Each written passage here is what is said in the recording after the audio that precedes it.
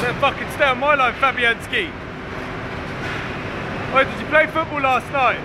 Because everyone's telling me you're shit. I know. Don't worry about it. That's my proclaimed fame. I work with Fabianski. Yeah. See that? It's fucking assault.